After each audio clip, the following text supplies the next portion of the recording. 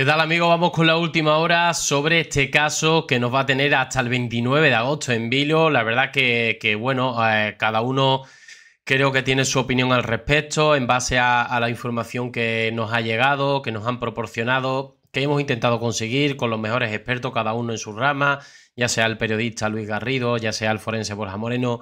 Hemos intentado traer aquí a muchos compañeros también, como Axel y demás y hemos hablado mucho sobre este asunto, ¿no? Entonces, claro, mm, cuando alguien como Álvaro López, que se ha empapado del sumario, eh, os recuerdo, periodista que ha estado eh, en Tailandia eh, en todas las fases del juicio y desde agosto ha estado allí, cada vez que se le ha requerido, se lo sabe de pe a pa cómo es la vida allí en Tailandia, ha estado allí durante algunos meses los dos, tres, cuatro primeros meses más fuertes y ahora antes del juicio, este último mes y medio, también ha estado allí.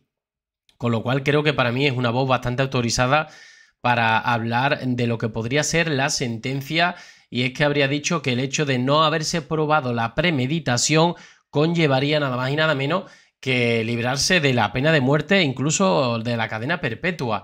Con lo cual, vamos a ver cuál sería su opinión en base a toda esa información que él ha podido recabar en estos últimos meses. Así que si os parece, vamos a reaccionar a, a este vídeo. Ningún periodista puede entrar. Ya sabéis, por tema de derecho de autor, solamente puedo poner un trozo de pantalla. Eso sí, lo importante es que lo escuchemos y que dejéis like, campanita importante, me dice YouTube, que os lo diga. Por favor, campanita importante, personalizar todas y os llegarán mis vídeos y así no leo comentarios de Enrique, no me llegan, tal cual, y gracias por el like. El juez está siendo implacable, lo quiere blindar absolutamente todo. La madre de Daniel Sancho no está presente en esta primera sesión de juicio contra su hijo. Quien sí está apoyando y acompañando a Daniel Sancho es Rodolfo Sancho. ¿Es confiantes más menos que antes del juicio, después de las primeras imágenes? Más, más, siempre más. En el interior de esa sala se ha visto a un Daniel Sancho en mono naranja con las esposas tanto en las manos como en los pies. Un Daniel Sancho que ha podido preguntar a los testigos directamente hasta el punto que le ha llamado la atención el juez por preguntas improcedentes. Una imagen escalofriante, verle atado pues, con pie, de pies y de manos con, con esposa. Daniel Sancho está siendo el mejor abogado de sí mismo. Y por primera vez Silvia Bront. Daniel Sancho está siendo el mejor abogado de sí mismo. Fijaros que al principio, no sé si recordáis, cometió algunos errores y cosas que, que, ya, o sea, no, no, tiene nada que ver con Tailandia, ¿no? Cualquier juez, fuera donde fuera, vería mal, ¿no? Con malos ojos esa actitud prepotente, arrogante, gritando, interrumpiendo en un juicio para decirle que sí papá, que sí no sé cuánto, hablando en su idioma natal, evidentemente pues un poco mm, esto da mosqueo a, los jueces, ¿no? Está presente y sentada en la última fila de esa sala. Ha dicho que aquí todos pierden y que nadie ha ganado. Lo que ha declarado la médico forense del Hospital de No, desde luego de por la parte de Daniel Sancho, yo creo que la madre de, Daniel es la única que más o menos está teniendo la poca sensatez que hay en este caso, ¿no? Porque las declaraciones, tanto de Rodolfo como de algunos de sus abogados y portavoces, la verdad que han tenido ya varios comentarios bastante fuera de lugar y desafortunados en mi opinión. Es que esas heridas de Edwin Arrieta... Bueno, esto es una especie de resumen de lo más interesante aunque bueno, hay muchas cosas que seguramente se queden fuera porque hemos eh, visto a lo largo de estos meses muchísima información, pero vamos a ver ahora la opinión del periodista reportero en Tailandia que, bueno, ha vuelto evidentemente a España hasta, hasta nueva orden, hasta me imagino que días previos a ese juicio en agosto eh, vamos a ver qué es lo que dice. Podrían ser perfectamente compatibles con una pelea. El cuarto cuchillo es el único que contiene restos de ADN de Edwin Arrieta y de Daniel Sancho. Pero es que ese cuchillo se encontró el 21 de agosto, dos semanas después de cometerse. Esto siempre hemos dicho que es raro. Que, que haya aparecido en otro bungalow varias semanas después.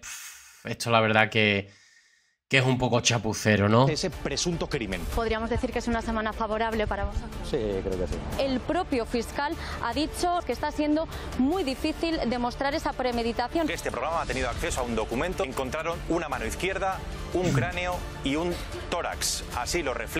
Bueno, hay en algunos sitios que dicen que lo del tórax es mentira, otros que dicen que sí, que en la primera declaración dice que sí que aparece el tórax, eh, según la policía.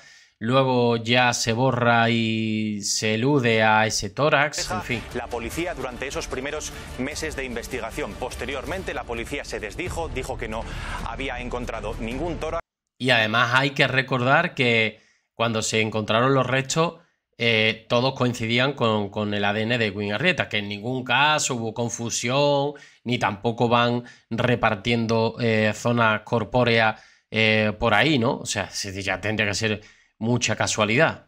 Hoy a esta hora Daniel Sánchez ya tendría que haber declarado, pero se ha suspendido finalmente esa declaración por problemas técnicos. No hay aire acondicionado en la sala y por eso su abogado ha pedido que se aplace hasta que se solucionen. Fijaros, incluso dilatando con el tema del aire acondicionado, acabó dos días antes de, dos, dos o tres días antes de lo previsto los juicios, pese a que se atrasó todo dos o tres días. Es decir, que en teoría se, gana, se ganó como cuatro o cinco días en total, ¿no? Estos problemas. Pregunto, Álvaro, ¿sigue declarando Daniel Sancho? Dos horas aproximadamente lleva declarando el hijo de Rodolfo Sancho. Casualidades que hoy nos damos cuenta que a Daniel le recoge un coche sin esas lunas tintadas. Nos situamos en el eh, día 3 de agosto. Tres policías pasan la noche en la misma escena del crimen junto a Daniel Sancho. Termina un juicio. Eso fue curiosísimo, ¿eh?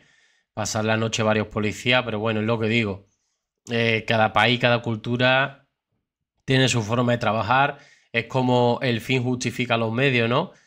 Eh, y si el fin justifica los medios, como esa famosa frase, pues para ellos, pues está bien, si lo consiguen. agotador, pero sobre todo especial. Siempre y cuando, evidentemente, no sea ilegal, en plan eh, acosándolo, golpeándolo ni nada de eso, evidentemente caótico. Hoy hemos eh, vuelto a ver a Daniel engrilletado por los pies. Han sido 12 sesiones y Rodolfo Sancho ha estado presente en todas ellas. Está diciendo que soy un inhumano, que nunca he dicho que sentía nada por la familia, que no he presentado mis condolencias es una absoluta mentira. 29 de agosto, fecha clave para conocer el resultado de ese veredicto, de esa sentencia que va a dictar el juez. Dentro de ese alegato final cobró protagonismo la palabra perdón. Lo hizo en hasta cinco ocasiones. O sea, lo dijo porque de pronto eh, le convenía decirlo para ver si de esa forma podría de alguna u otra forma sensibilizar al, al juez. Pero no creo que, que sienta que lo que le hizo a mi hermano. No, no, evidentemente no le quedaba otra. Es decir, si encima eh, acaba el juicio y no ha, dicho ninguna palabra de arrepentimiento, ya que entonces pamea y no chargota, ¿no?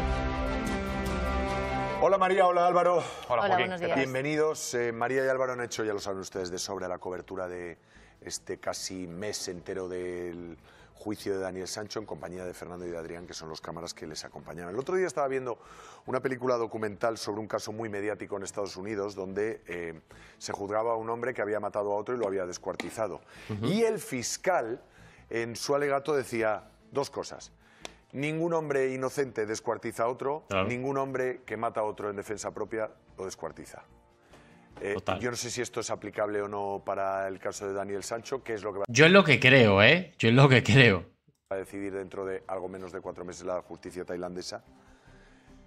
Pero, ¿qué impresión tenéis vosotros de lo que ha sido este juicio? Yo, la impresión que tengo es que, bueno, eh, también coincido con María, que ha sido un absoluto caos. Eh, ha sido todo, se ha, hizo todo, se ha hecho todo de, de, forma totalmente imprevisible. Joaquín, yo lo que creo que va a pasar el día 29 eh, es que no va a haber premeditación, no va a haber, no va a haber una condena eh, por eh, asesinato premeditado. Creo honestamente... No va a haber premeditación. y a día de hoy la policía no tiene ninguna prueba contundente para declarar que Daniel Sancho fue con todo premeditado a matar a Edwin Arrieta. Que cree que no tiene pruebas suficientes como para enjuiciarlo como pena de muerte. Tailandia y esto no es una cuestión de intoxicaciones o no, es una cuestión de simplemente leerse el sumario. Ahora bien, a mí me extraña que el fiscal vaya a pasar de 0 a 100 o de 100 a 0 en tan solo un mes.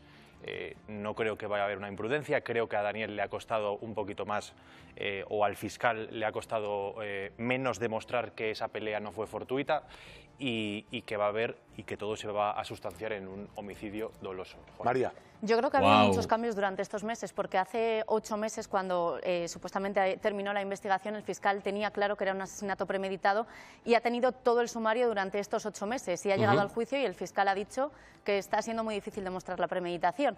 Entonces, es algo que, a los que estábamos allí nos costaba entender por qué ese cambio, de tenerlo claro. Aquí. Claro.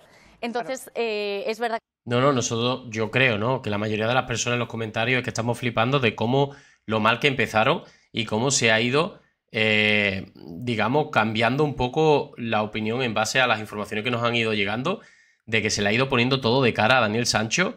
Y bueno, yo me quedo con la opinión de ellos. Al final son los que más saben sobre esto, son los que se conocen el sumario eh, a pie juntilla, son los que se, conocen y han estado en Tailandia y han hablado con muchas personas, incluso con los propios compañeros con los que se pasan información. Ha sido un juicio muy caótico, con mucha improvisación. Yo no me quiero adelantar a una, a una sentencia. Mm, creo que sí que podría eh, estar descartada la pena de muerte o la cadena perpetua y que no se va. Ojito que los dos opinan lo mismo, que creen que no va a haber cadena perpetua eh, ni pena de muerte. demostrar que Daniel Sancho le asesinó. lo único que ha declarado y, de lo que se ha confesado culpable es del descuartizamiento. Vale, bueno, esta es su opinión, insisto, en base a lo que ellos han podido trabajar, que les ha llegado mucho más que a nosotros, y lo han tenido de primera mano, han tenido el sumario, se han empapado, han hablado con muchas personas eh, allí presentes, testigos, han estado con la chica del supermercado, con la del calle, es decir, tienen toda la información. Y si después de todo eso creen que no va a haber, insisto, aparte del tema ese que se está hablando, del pacto, del acuerdo que habrían llegado, en un principio parece ser que, independientemente de ese posible pacto del cual se están hablando, es que parece ser que no se ha podido demostrar. De hecho, ya lo dijo Juan Ospina, no se está pudiendo demostrar la premeditación de Daniel Sancho. Está siendo muy difícil. Entonces, claro, si no demuestran lo más importante, se cae la pena de muerte como poco. E incluso la cadena perpetua podría caerse también. En fin, mi gente, nos vemos en el siguiente vídeo. Un saludo.